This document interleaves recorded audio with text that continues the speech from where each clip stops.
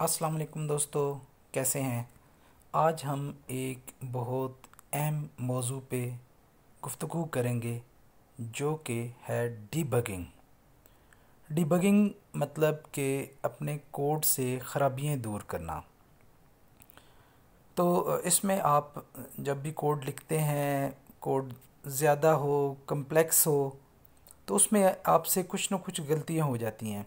कभी छोटी सी एक गलती आपके प्रोग्राम की एग्जीक्यूशन को रोक देती है।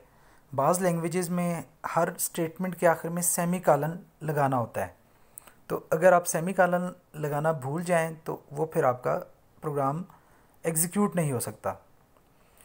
तो इसमें जो दो तरह की लैंग्वेजेस होती हैं, एक कंपाइल्ड होती हैं और दूसरी इंटरप्रेटेड होती हैं। तो जो पहली वाली टाइप है कंपाइल्ड लैंग्वेजेस उसमें कुछ एरर्स निकालना आसान होता है, क्योंकि आप जब प्रोग्राम को कंपाइल करते हैं तो वो उसी वक्त लिस्ट आपको बता देता है ये ये एरर्स हैं। तो जो इंटरप्रेटेड लैंग्वेजेस होती हैं, इनके साथ ए डीबगिंग करना थोड़ा सा मुश्किल होता है, क्योंकि इसमें कंपाइल करने वाला प्रोसेस तो नहीं होता है। तो इस वजह से आपको इसकी डिबगिंग करने के लिए कोई फिर कुछ ट्रिक्स करनी पड़ती हैं। तो जैसे कि हम इस कोर्स में जावास्क्रिप्ट लैंग्वेज को इस्तेमाल कर रहे हैं तो और ये इंटरप्रेटेड लैंग्वेज है, यानी कि इसकी एग्जीक्यूशन लाइन बाय लाइन होती है। तो इसमें हमें फिर कुछ वो ट्रिक्स इस्तेमाल करनी पड़ेगी कि हम डिबगिंग किस तरह कर सकते हैं। तो इसमें मैं आपके पहले मैं ये ए कोड ऐप स्टार्ट करता हूँ।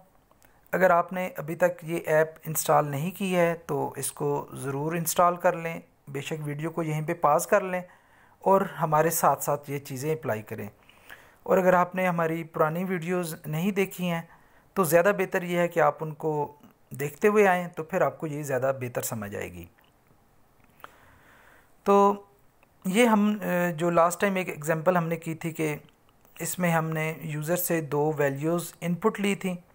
उसको ऐड अप किया था, जमा, और फिर उसको रिज़ल्ट हमने शो कर दिया था। तो इसमें हम अब जानबूझकर एक गलती इसमें प्रोग्राम में डालते हैं, ताकि फिर मैं आपको वो ट्रिक्स बताऊँगा कि किस तरह फिर उसकी एग्जीक्यूशन में हमें किस तरह हम उसके डिबगिंग करते हुए एरर तक पहुँचेंगे या उसको फ़िक्स करेंगे। क्योंकि अगर आपको अपना कोड फिक्स करना नहीं आता है तो आप आगे नहीं बढ़ सकते। इसी तरह बाज़त आपके पास किसी और बंदे का कोड आता है तो आपने उस कोड को फिक्स करना होता है। तो उस सूरत में भी डिबगिंग स्किल आपकी, आपको फ़ायदा देती है और आप अपने कोड या किसी के कोड में से एरर इश्यूज़ फिक्स करते हैं। तो इसमें एक तो अब मैं देखें इसमें जानबूझ के एक गलती इसमें कर रहा हूँ कि वैसे ये प्रॉम्प्ट की स्टेटमेंट है। प्रॉपर इसका जो कीवर्ड है वो प्रॉम्प्ट के नाम से लेकिन मैं जानबूझ के यहाँ पे एंटर प्रेस कर देता हूँ। अब ये स्टेटमेंट गलत है। हमें मतलब इसमें यह है कि डिबगिंग करने के लिए आपको आँखें जो है ना वो शार्प होनी चाहिए कि आप जब कोड देखें, उसको लाइन बाय लाइन देखें और उसको सेंटेक्स सेंटेक्स जो भी उसका है कीवर्ड्स का उसके साथ कंपेयर करते जाएँ। यानी जिस तरह हमने पहले ये बात की थी किसी पुराने इसमें लेक्चर्स में कि ड्राई रन करते हैं। तो उसी तरह आप कोड को देखें और साथ साथ एग्जीक्यूट करते जाएँ अपने दिमाग के अंदर। तो उसमें भी आपको गलती नज़र आ जाती है। अमूमन नए जो लोग होते हैं उनसे छोटी मोटी गलतियाँ होती हैं। तो अभी खैर ये गलती है, इसको हम अब रन करते हैं। तो आप देखेंगे कि इसका बिहेवियर थोड़ा सा मुख्तलिफ़ हो जाएगा। तो इसको इन ऐप में रन करते हैं। अभी हमसे पहला प्रॉम्प्ट आ रहा है और यहाँ पे हम इसको वैल्यू वन देते हैं और और आगे दूसरा प्रॉम्प्ट आया ही नहीं। हालाँकि इसमें ये था कि दूसरा प्रॉम्प्ट आता था तो उसमें हम दूसरा वैल्यू डालते थे और आखिर में ये हमें रिज़ल्ट बता देता था। तो एक तो खैर हमें यहाँ पे जो कंसोल है, जिस तरह पहले भी आपको मैंने दिखाया हुआ है कि ये इसमें हमें एरर्स पता लग जाते हैं। तो यहाँ पे यही बता रहा है कि पी आर ओ एम जो है वो डिफ़ाइंड नहीं है और इसमें फ़ाइल का नाम और उसके लाइन नंबर और कॉलम नंबर भी बता रहा है जहाँ पे ये गलती आ रही है। खैर, ये यहाँ पे लाइन और कॉलम नंबर गलत बता रहा है क्योंकि हम इन ऐप में रन कर रहे हैं तो ये प्रॉपर उसका लाइन नंबर और कॉलम नंबर नहीं बता रहा है।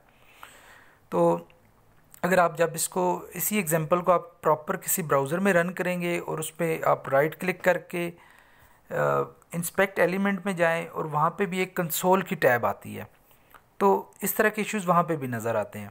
तो आप उसमें क्लिक करें तो वो आपको बाकायदा लाइन नंबर पे भी ले जाता है।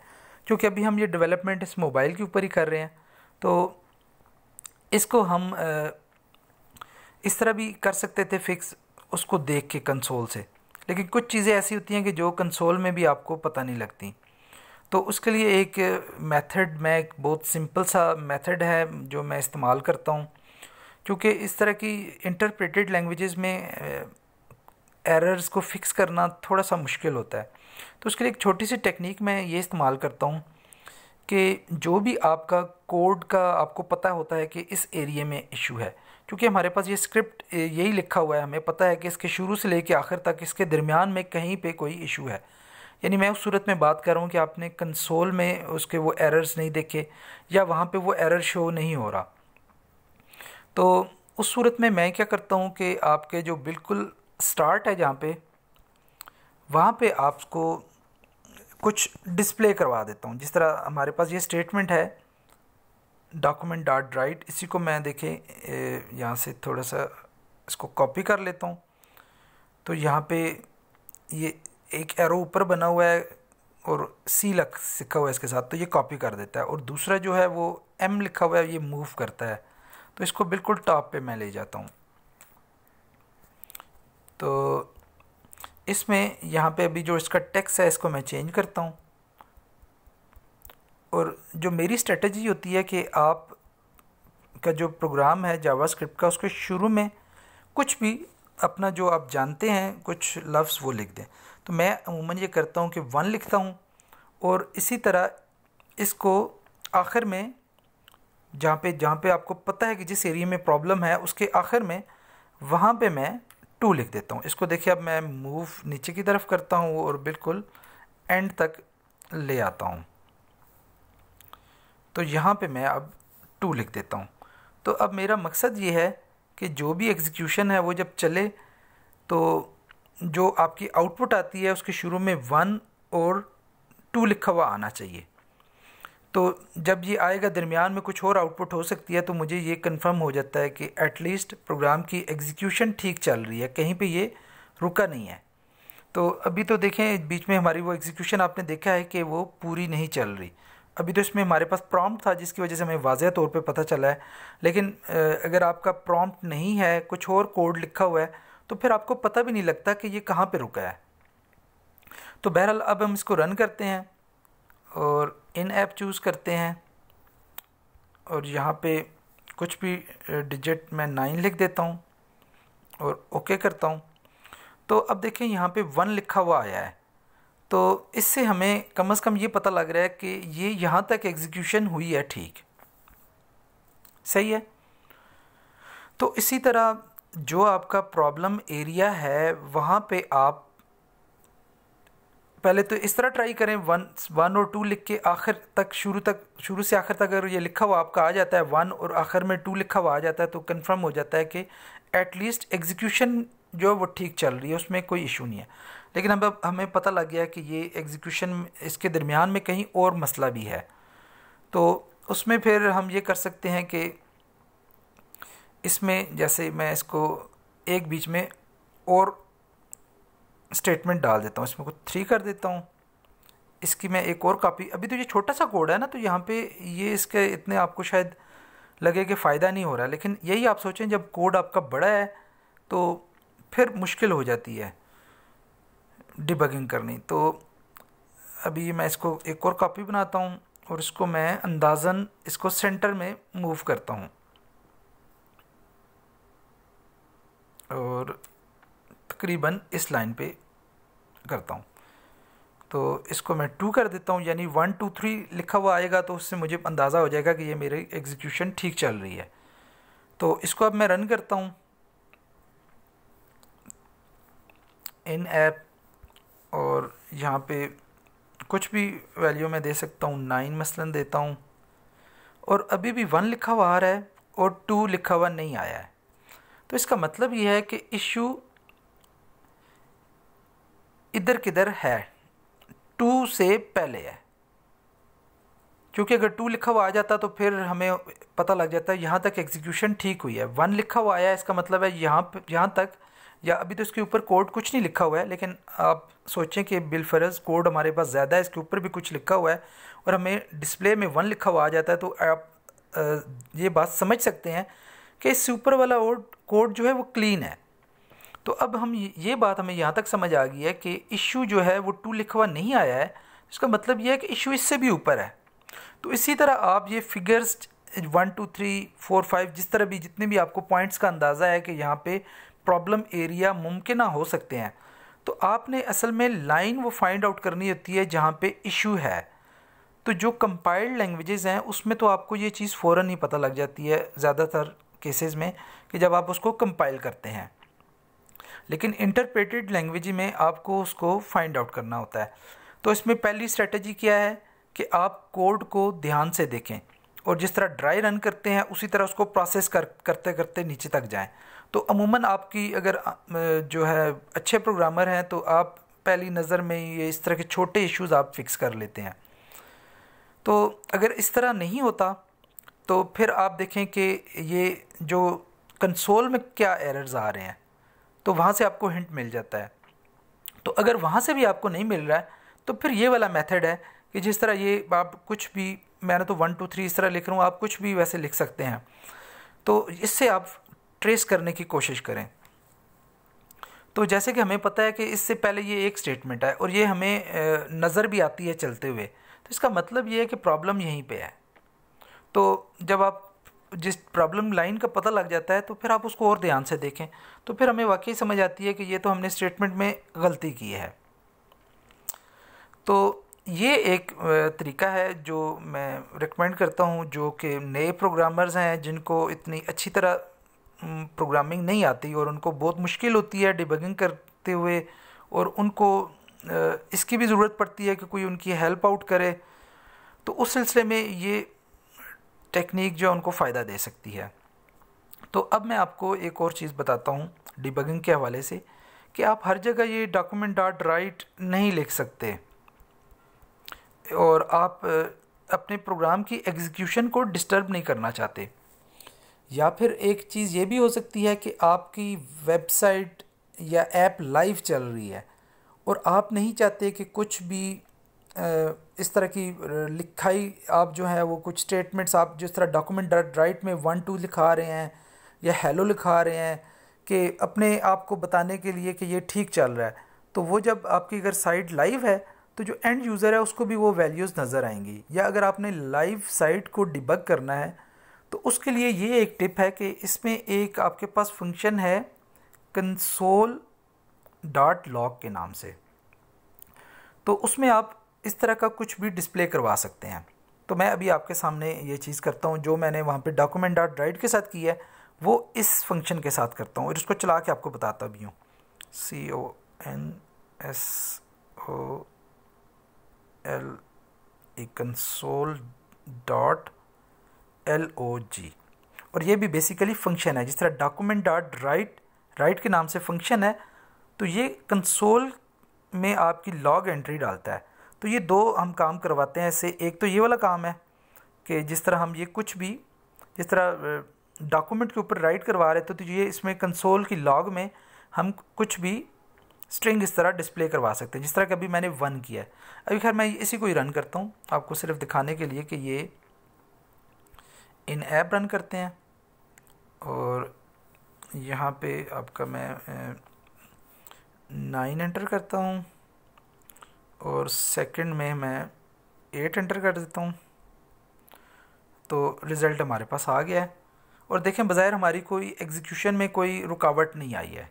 तो इस पर अलबत्ता मैं कंसोल को देखूँ तो यहाँ पे आप देखें, एक वैल्यू लिखी आ रही है वन कोटेशन के अंदर। तो ये वो जो हमने वहाँ पे एग्जीक्यूट किया था, ये वो चीज़ यहाँ पे आई है। तो इसी तरह मैं इसकी कॉपी करता हूँ। और इसको मूव करके आखिर पे ले आता हूँ।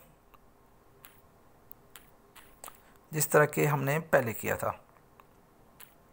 और यहाँ पे मैं, बल्कि ये कोटेशन के बगैर भी मैं लिख सकता हूँ, क्योंकि वहाँ पे भी लिख सकता था, क्योंकि ये तो नॉर्मल आपके नुमेरिक है वैल्यूज़ हैं। तो यहाँ पे टू कर दिया मैंने। और अभी वही इसमें जो इशू जिस तरह हमने पहले क्रिएट किया था जानबूझ के तो ये फिर मैंने दोबारा क्रिएट कर दिया है। सिर्फ़ डेमोन्स्ट्रेशन के लिए देखें, आप सीख रहे हैं चीज़ें तो बहुत सारी चीज़ें ऐसी हैं जो ख़ुद से करके देखने वाली हैं। मतलब ऐसे नहीं है कि आपने सिर्फ़ थ्योरी में बुक में पढ़ लिया है, ये प्रॉम्प्ट इस तरह करता है, ये कंसोल लॉग ऐसे करता है डॉक्यूमेंट और राइट ऐसे करता है, नहीं। आप उसको पढ़ें, उसको मेमोराइज़ करें और फिर ख़ुद चीज़ें लिख लिख के ट्राई करें। जब तक इस तरह अपनी आप आदत नहीं बनाएँगे ट्राई करने वाली, उसको, ख़ुद को आपने सिखाना होता है असल में। वो ट्राई करने का मकसद अपने दिलो दिमाग में ये चीज़ बिठानी होती है कि वाकई ये ऐसे ही होता है और ऐसे ही चलता है। तो इसको मैं रन करता हूँ। तो देखें एग्जीक्यूशन नॉर्मल उसी तरह हुई है। आपको वहाँ पे कुछ भी फालतू चीज़ नज़र नहीं आई है। और यहाँ पे मैं नाइन एंटर करता हूँ। और सेकंड पे देखें, फिर एग्जीक्यूशन ही है अब कंसोल पे आएँ। तो कंसोल में देखें, एक तो ये एरर भी शो कर रहा है इस केस में, लेकिन आप देखें कि वो जो वन लिखा हुआ है, वो भी आया है। तो अगर बिलफरस कुछ एरर या इशू ऐसा है बाज़ात आपके लॉजिकल एरर्स होते हैं, जो कि उसमें बज़ाहिर जो सेंटेक्स की गलती नहीं होती है तो वो इस तरह के एरर्स जो है ना, जो रेड मार्क यहाँ पे हुआ हुआ है, इस तरह के एरर्स पे शो नहीं होते। तो उस तरह के एरर्स जो हैं, उसको लॉजिकल एरर्स, उसको फिक्स करना ज़्यादा मुश्किल होता है। तो इस तरह के जो छोटे मोटे एरर्स होते हैं ना सेंटेक्स के वो अमूमन इस मेथड से हो जाते हैं। तो लॉजिकल एरर्स जो हैं, उसको फाइंड करने के लिए फिर ये मेथड जो मैं बता रहा हूँ, ये बहुत अच्छा है। तो इसी तरह हम, जिस तरह मैंने आपको बताया था कि log document dot write one किया था और टू किया था, फिर हमने वन टू थ्री किया था और हम उस प्रॉब्लम लाइन तक पहुँच गए थे। तो एक तो मैंने आपको लॉग का ये बताया कि लॉग से हम कुछ भी डिस्प्ले करवा सकते हैं। और एक चीज़ हम लॉग से करवा सकते हैं कि आप जो वेरिएबल की वैल्यूज़ हैं, वो डिस्प्ले करवा सकते हैं। तो यहाँ पे आप देखें, हमारे पास दो वेरिएबल्स आ रहे हैं। तो मैं इन दोनों की ही वैल्यू करवा लेता हूँ डिस्प्ले और यहाँ पे मैं इसको कॉपी कर लेता हूँ। और ये सिर्फ़ डेमोन्स्ट्रेशन करने वाली, आपको बताने वाली चीज़ है।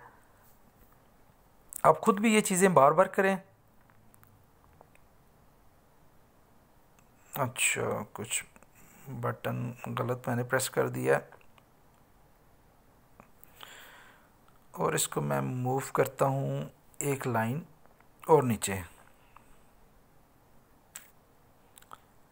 ठीक है, और यहाँ पे देखें मैं वेरिएबल का नाम जो है वो मैं यहाँ पे लिख रहा हूँ इनपुट वन तो और ये जो ऊपर वाली लॉग है, अभी इसको मैं ख़त्म कर रहा हूँ।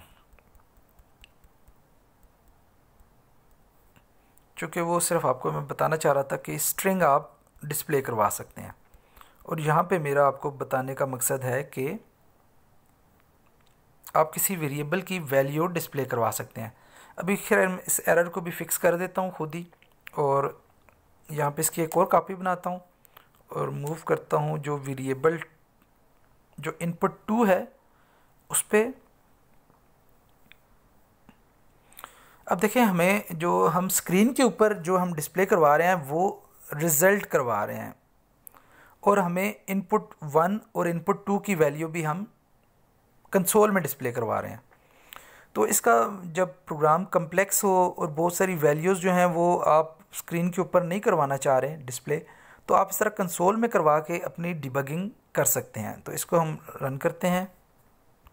इन ऐप उसी तरह कुछ ना कुछ हमने वैल्यूज़ इसको दे दी।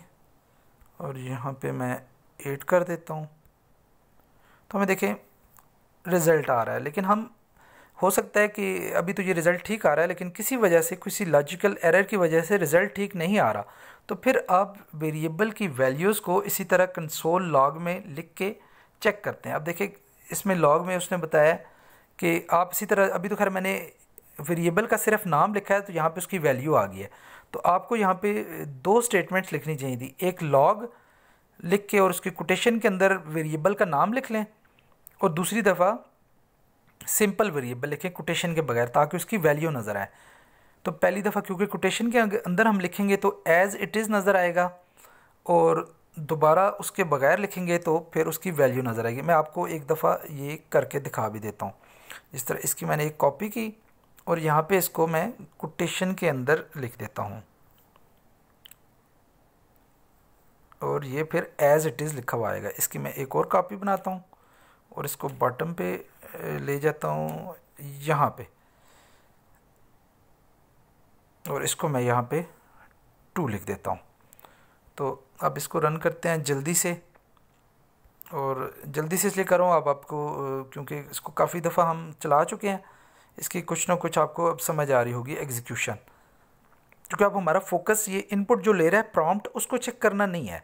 क्योंकि अब हम उसे जान चुके हैं, समझ चुके हैं। तो यहाँ से हम फिर कंसोल में आते हैं। तो देखिए, हम यहाँ से अब क्लियर पता लग रहा है कि इनपुट की वैल्यू नाइन थी और इनपुट वन की वैल्यू और इनपुट टू की क्या वैल्यू थी। इसमें तो भी देखिए प्रॉम्प्ट हमने ये इस्तेमाल किया तो हमारे जहन में ख़ुद भी है, इसमें हमने क्या क्या वैल्यू इनपुट की है। लेकिन हर दफ़ा ये सूरत हाल नहीं होती। तो आपको बाज़ात हम अमूमन वैसे इनपुट ऐसे नहीं लेते हैं। हम अमूमन इनपुट मुख्तलिफ़ तरीके से लेते हैं। एचटीएमएल के फॉर्म्स होते हैं, उसके ज़रिए इनपुट लेते हैं। तो यहाँ पे तो क्योंकि हमारा मकसद प्रोग्रामिंग सीखना है तो इसमें हम प्रॉम्प्ट के फ़ंक्शन को ही इस्तेमाल कर रहे हैं। तो उसमें फिर आपको रन टाइम पे नहीं पता होता कि क्या वेरिएबल की क्या वैल्यूज़ हैं और ये लॉजिकल एरर है तो उस केस में आपको ये काफ़ी फ़ायदा हो जाता है इस तरह। तो अभी जिस तरह हमने यहाँ पे कंसोल डॉट लॉग और इनपुट ये कोटेशन के अंदर लिखा है, इसको हम हार्ड कोड भी कहते हैं। यानी बाज़ बल्कि इस यहाँ पे इसका सेंस सही नहीं बनता है। उसमें ये होता है कि जिस तरह हमने ये हार्ड कोड क्योंकि लफ्ज़ इस्तेमाल होता है तो इसको थोड़ा सा मैं एक्सप्लेन करना चाह रहा था कि जिस तरह पिछले जो हमने लेक्चर्स रिकॉर्ड किए हैं, उसमें हमने ये चीज़ की थी कि वेरिएबल को हम यहाँ पे यहाँ पे तो जिस तरह अभी प्रॉम्प्ट से हम कर रहे हैं, उसमें हम डायरेक्ट वेरिएबल को वैल्यू असाइन कर रहे थे। तो जब आप लिख के वैल्यूज़ आप करवा देते हैं स्टोर वेरिएबल के अंदर तो उसको हम हार्ड कोड कहते हैं। और वरना वैल्यू डायनामिक होती है। जैसे यहाँ पे अब ये प्रॉम्प्ट से वैल्यू आ रही है तो ये डायनामिक है, कुछ भी हो सकती है। इसी तरह हम किसी, जिस तरह मैंने बताया है कि एचटीएमएल फॉर्म से वैल्यूज़ हम लेते हैं कोडिंग करके तो वो भी डायनामिक हो सकती है। तो बाज़ का हमें हार्ड कोड वैल्यूज़ करनी पड़ती हैं एग्जीक्यूशन के लिए या टेस्टिंग के लिए डिबगिंग करने के लिए। तो उसका ये जो लफ्ज़ है हार्ड कोड इसका आपको पता होना चाहिए। यानी वो value fix as it is होती है। और डायनामिक नहीं होती। तो इस तरह हम अपने कोड को डिबग कर सकते हैं। ये कुछ ट्रिक्स हैं टेक्निक्स हैं।